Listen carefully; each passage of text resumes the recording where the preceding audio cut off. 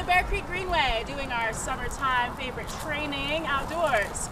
But we are getting ready for September because it's coming and we want to see you on the 27th at our home venue, the Meat Locker in Medford, Oregon, where we're going to be taking on Shasta's Hit Squad. Woo! But for now, we got to go. Do the dip. We're out.